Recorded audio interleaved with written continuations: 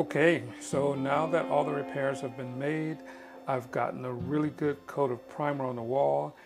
Now my paint should go on really nicely because the plaster's been repaired, all the holes, everything has been sanded, so it's relatively 100%, but not quite 100% because I couldn't take the time that would be necessary to make this room 100% because that would take quite some time because remember we're dealing with a house that is 100 plus years old so there's lots of work that need to be done to make it 100% but what I've done thus far is so so much better than it was. I couldn't imagine myself just putting paint on the wall with a few minor repairs because this room was just really, really in need of repair. So I feel a lot better that I've gotten the walls as flat as they are and everything is looking pretty nice.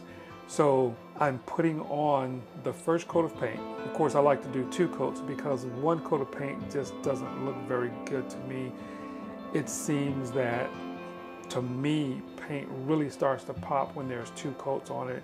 And of course, if there's any little spots that you've missed, the second coat really gets them because as you can see I'm painting pretty close to the wall so I can see anything that I miss up close. But of course sometimes there are little spots that I miss and of course I can see those after the paint dries. That second coat is really what helps get all the paint where it's supposed to go and it's nicely covered. So once I get this color on, I'll come back, do the second coat, and then I'll get ready for the trim.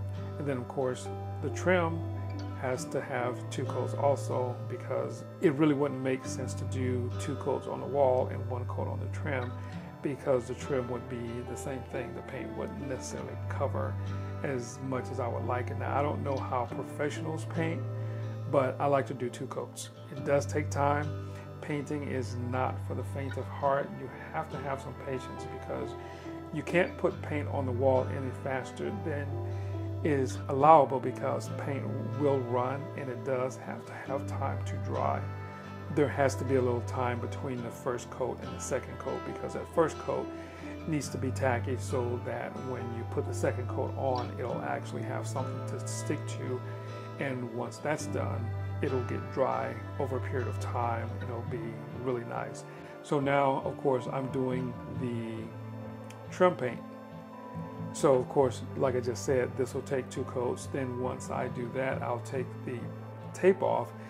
And of course, I use this blue tape because it does help sometimes when I feel like I can really spend some time out freehand the edges and things like that. But I'm on a bit of a schedule now, so I have to use the paint, have that define my lines. But of course, when I take the paint off, there's always some paint that gets underneath, so I'll have to go back with the blue paint and tighten that up, and then may have to come back with the yellow paint to tighten up the blue paint. So it's a process.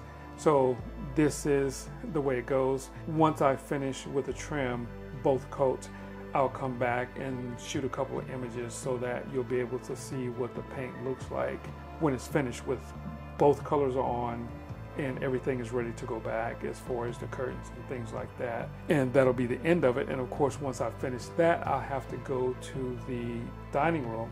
Now, the dining room won't take quite as much work as this one has, but there's going to be some work to do there. And I got a feeling that there's going to be a lot of dust created because I have to take down some of the plaster that's actually on the wall because it sticks up in places, a lot of places, so that over time, when dust falls, it just adheres to these spots that are sticking up. So I'll have to take care of that.